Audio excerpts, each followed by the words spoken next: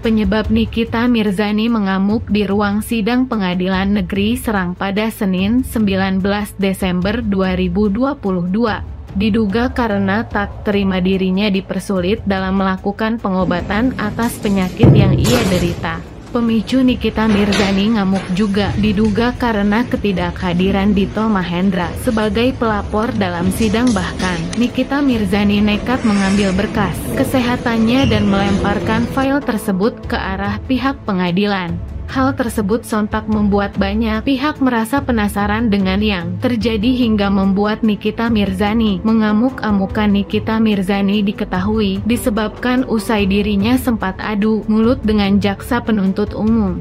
JPU Kala itu Nikita Mirzani merasa emosi setelah dirinya dipersulit mendapatkan Rin dalam memeriksakan kesehatannya akibat pengapuran sendi ke rumah sakit. Saat itu Nikita Mirzani sendiri sempat dibujuk oleh beberapa pihak kepolisian lantaran enggan keluar dari ruang sidang setelah selesai proses persidangan. Namun Nikita Mirzani justru tak terima dengan keputusan majelis hakim dan lantas berdiri dari kursi sidang dan memukul Mike di depannya. Tak tanggung, Nikita Mirzani bahkan mengambil berkas hasil pemeriksaan medis dan permohonan penangguhannya yang berada di meja majelis hakim dan kemudian melempar berkas kesehatannya tersebut di ruang sidang. Namun saat ditanyai mengenai aksinya, wanita yang kerap disapanyai itu sempat menepis.